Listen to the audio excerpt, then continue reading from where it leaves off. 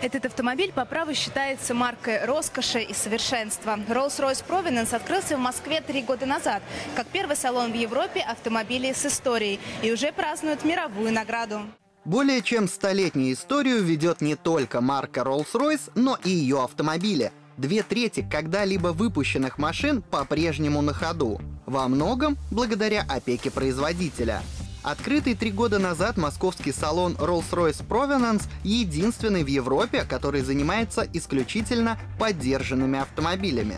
Мы почувствовали рынок, мы увидели, что есть потребность у рынка не только в покупке новых автомобилей, да, есть э, люди, которые хотят почувствовать, попробовать эту марку, но не готовы, возможно, приобрести там сразу новый. Автомобили с пробегом Rolls-Royce уважительно называют автомобилями с историей. Для них же действует сертифицированная программа Provenance, то есть происхождение. Мы инвестировались в новый сервис, который на данный момент самый крупный в Европе по обслуживанию автомобилей, и в шоурум, который здесь же располагается. В прошлом году в России продажи машин по программе Provenance достигли 80% от продаж новых Rolls-Royce тоже автомобиль имеет некий пробег. Это, наверное, единственное, что отличает его от нового.